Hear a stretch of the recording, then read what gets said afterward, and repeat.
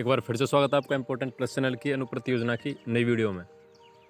बहुत सारे लोग इससे रिलेटेड मैसेज कर रहे थे कि आचार संहिता में लिस्ट आएगी या नहीं आएगी वेटिंग लिस्ट पहले बहुत सारे लोग बोल रहे थे कि कोई लिस्ट आएगी नहीं तो मैंने आपको बोला था, जब पहले, पहली लिस्ट आई थी, उसमें साफ़ लिखा था कि अगली वेटिंग लिस्ट भी जारी करी जाएगी एक महीने के अंदर। लेकिन एक महीने के अंदर वो लिस्ट जारी नहीं करी गई तो अब उसको जारी कब करेंगे या कर दी गई है? लोगों के स्टेटस शॉर्ट लिस्टेड आ रहे हैं या अप्रूव्ड बाई डी आ रहे हैं, इसका क्या मतलब इसके बारे में हम चर्चा करेंगे। बाकी अनुप्रत योजना की वीडियो कम बन पा रही हैं। जॉब के कारण टाइम नहीं मिल पाता इसलिए। लेकिन जिन लोगों का स्टेटस देखिए मतलब आठ अक्टूबर के बाद इस महीने में बारह तेरह तारीख तक लगभग बहुत सारे लोगों के फॉर्म शॉर्ट लिस्ट किए गए थे। इसका मतलब जिन लोगों ने फॉर्म भरे थे, लेकिन पहली लिस्ट में जो अगस्त में लिस्ट आई थी, उसमें कट ऑफ़ की वजह से नहीं आए थे। उनके मार्क्स थोड़े से कम रह गए थे कट ऑफ़ से जस्ट कम। तो अब उनको लिया जा रहा है शॉर्ट लिस्ट किया जा रहा है। आप लोग भी अपना स्टेटस देखें एस एस में, कहीं शॉर्ट लिस्ट तो नहीं है।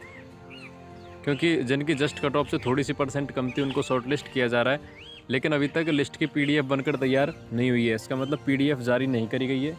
केवल यहाँ पर शॉर्ट लिस्ट दिखाया गया है, कई जगह शॉर्ट लिस्ट के बाद अप्रूव्ड बाई डी दिखाया गया इसका मतलब है final select by state admin नहीं दिखाया गया शॉर्ट लिस्ट का मतलब है कि आपको कन्फर्म कोचिंग मिलेगी। मतलब वेटिंग लिस्ट जो अब पीडीएफ बनेगी, उसमें आपका नाम जारी किया जाएगा। उससे पहले ही, देखिए लिस्ट आना ज़रूरी नहीं है। आपका शॉर्ट लिस्ट के बाद अगर final select by state admin आ जाता है तो आप कोचिंग में संपर्क कर सकते हैं। आपको कोचिंग फ्री में प्रोवाइड कर दी जाएगी। लेकिन आचार संहिता के कारण ये चीज़ें लेट हो रही हैं।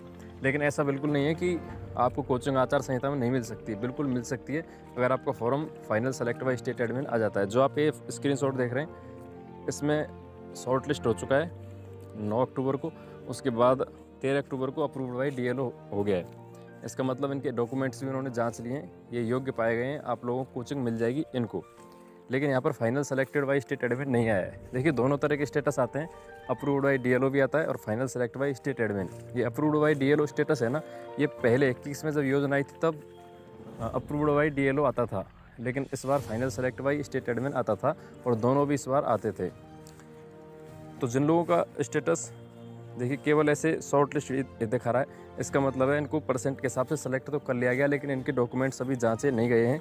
तो इनके डॉक्यूमेंट जांचे जाएँगे। लेकिन जिनका ये आ रहा है अप्रूव्ड बाई डी तो ये लोग क्या करें, आप लोग मतलब जिला के समाज कल्याण विभाग में संपर्क करें और उसके साथ ही आप लोग संबंधित कोचिंग जो आपने भरी थी और जिस कोचिंग के लिए फॉर्म लगाया था, आप उस कोचिंग में भी दो दिन बाद कॉल करके पूछें कि, सर, हमारा नाम वहाँ पर भेज दिया गया क्या?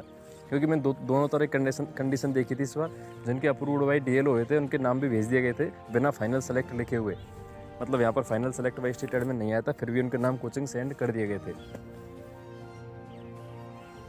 तो हो सकता है, जिनका अप्रूव्ड बाई डी हो, उनके नाम कोचिंग सीधे सेंड कर दिए गए हों। पीडीएफ आना ज़रूरी नहीं है लिस्ट जारी होना ज़रूरी नहीं है। अगर आपका स्टेटस यहाँ पर इस तरह आ रहा है और आपका नाम शॉर्ट लिस्ट करके कोचिंग को भेज दिया जा रहा है अप्रूव करके या फाइनल सेलेक्ट करके तो आप लोग कोचिंग ज्वाइन कर सकते हैं। कोचिंग में जैसे आपका नाम शो हो जाएगा, उनके पास ज्वाइन कराने का ऑप्शन आ जाता है तो वो लोग ज्वाइन करवा सकते हैं। तो आप लोग अपना स्टेटस चेक करते रहें। पहली बात तो वो जिनकी कट ऑफ़ से जस्ट कम परसेंट की मान लो चौरानवे गई है। नीट जे डबल की या एस आई की आर एस की, और आपकी तिरानवे पॉइंट कुछ थी या तिरानवे थी तो आप लोग अपना स्टेटस एस एस चेक करें एस एस से, या फिर व्हाट्सएप नंबर मैंने वीडियो बनाए हुए हैं कि स्टेटस कैसे चेक करते हैं। वहाँ से चेक करके आप लोग देखें। हो सकता है आपका फॉर्म शॉर्ट लिस्ट हो गया हो। और इस तरह से अगर आपका अप्रूव्ड बाई डी आ रहा है तो आप लोग कोचिंग में संपर्क करें। नहीं आ रहा है तो आप लोग हाँ और सभी लोग जिनका शॉर्ट लिस्ट है या अप्रूव्ड बाई डी एल है तो आप सभी लोग एक सौ इक्यासी पर कॉल करके शिकायत करें कि सर, हमारा फॉर्म शॉर्ट लिस्ट हो गया है, लेकिन अभी तक कोचिंग प्रोवाइड नहीं करवाएगी ना कहीं से कॉल आया है, ना ही डॉक्यूमेंट्स जांचे गए ना अप्रूव किया गया तो वो लोग संबंधित विभाग से जवाब मांगेंगे। उसके बाद आपके फॉर्म काम जल्दी किया जाएगा, इसलिए सभी लोग एक सौ इक्यासी पर ज़रूर शिकायत करें। बाकी शॉर्ट लिस्ट के बाद अप्रूवल के बाद क्या होता है, क्या प्रोसेस होता है ज्वाइन का, सारी चीज़ों पर वीडियो बनाई हुई है। आप लोग चैनल से जुड़े रहें और अनुप्रति की लेटेस्ट अपडेट आपको बताता रहूँगा।